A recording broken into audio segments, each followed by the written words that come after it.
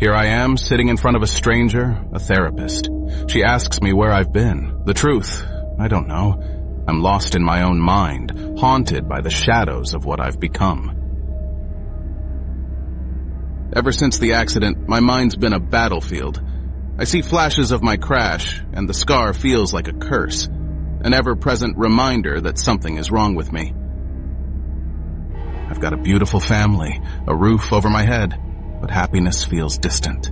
There's an emptiness gnawing at me, filling the void with anger and despair. Every drink helps me escape. When the night falls, I drink until my mind goes black, tumbling into the void where I feel nothing. And strangely, that's when I'm happiest. Dr. Halligan pushes me to confront my demons. She knows I'm avoiding the truth. But how can I explain the monsters lurking in my mind? The hallucinations torment me. I thought I was fine, but they creep back, feeding my paranoia. Maybe there really are monsters after all. The night is alive with sounds, but one haunts me. An engine roaring on the highway. It's a reminder of my accident, a sound that sends shivers down my spine. Meanwhile, the FBI's on my trail. Agent Wilmer, a by-the-books guy, is paired with someone who sees the world as a hunting ground for monsters. Trouble is brewing. Then there's Talia. She storms in, fiery and determined, ready to hunt down the supernatural. She's a force of nature, and I can feel the storm gathering around me. As if on cue, he arrives, a man in black, lurking at the edge of innocence. He has an aura of menace, and I can sense that he's not here for friendly reasons. He watches as the kids turn on each other, a smile on his face. He knows chaos well, it's what he thrives on. This town's peace is about to shatter. I tell Dr. Halligan that Roxanne's trying, but I can see the fear in her eyes. I wonder if she'll still love me when the truth about me comes to light. Every night, the dreams come alive, dragging me into a hell of my own making. I wake up screaming, swinging at shadows to escape my own mind. Mornings are no better. The sun might rise, but I'm still trapped in darkness. Each splash of water is a reminder that I can't wash away nightmares. The lines blur between reality and hallucination. Dr. Halligan becomes a monster in my eyes, urging me to confront my pain. Am I losing my grip on reality? I come home to a nightmare. My family's faces twist into horrors, and I'm left reeling, wondering if I'm the real monster. What if I hurt them? In a fit of rage, I lash out at Roxanne. The ring she wears becomes a symbol of trust and betrayal, and I question everything I once believed. Just when I think I've lost everything, the doorbell rings. But am I ready for what's on the other side? Can I handle another layer of chaos? He's here. Zeb. A harbinger of trouble. He knows too much, and the way he looks at Roxanne sends shivers down my spine. What does he want from us?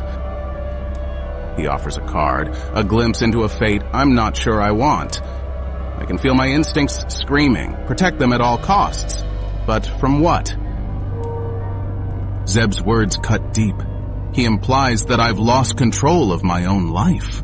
But the truth is, I don't know who I am anymore. I feel the chains binding me tighter. Just as things escalate, the law intervenes. I don't know whether to feel relieved or more trapped. This chaos is spiraling out of control. He tells me they need me, the spirit of vengeance. My heart races. Could it be that I'm meant for more than this tortured existence? Is there a way out? I stand at a crossroads.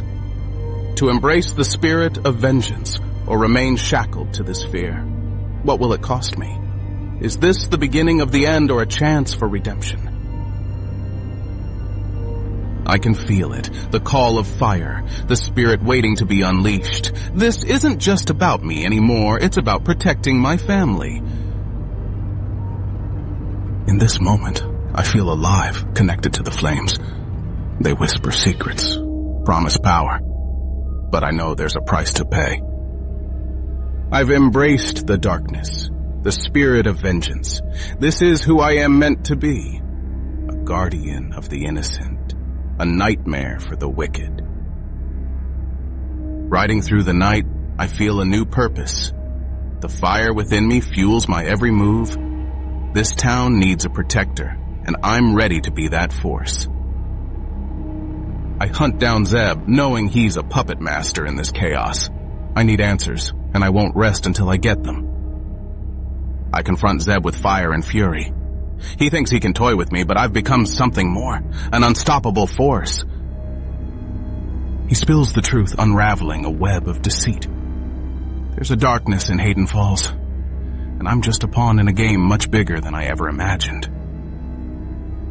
He warns me of the storm approaching, of monsters that will hunt my family. I feel the weight of responsibility settle on my shoulders. I'm no longer running from my fears. I'm charging headfirst into the darkness, ready to confront whatever comes my way. The creatures emerge from the shadows, but I'm ready. The flames dance around me, igniting a power I never thought I'd harness.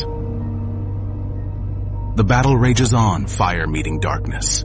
I fight with everything I have, channeling my anger into every blow, every burst of flame. With each victory, I feel the burden lifting, but I know this is just the beginning. The darkness will return, and I must be ready. I return home, the weight of battle still heavy on my shoulders. Roxanne's gaze tells me she knows I'm not the same anymore. I take a deep breath, ready to confess. The spirit of vengeance has awakened within me and I can't hide it any longer. Her fear is palpable, but I see the love beneath it. She wants to understand, but how can I explain a darkness that swallows me whole? The news reveals the truth. The darkness is spreading. I can't ignore it any longer. The stakes are higher than ever, and my family is in danger. I find Zeb, the man I once considered a foe.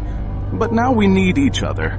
We're caught in a whirlwind of darkness, and I can't do this alone. We gather intel on the monsters plaguing the town, drawing a map of chaos.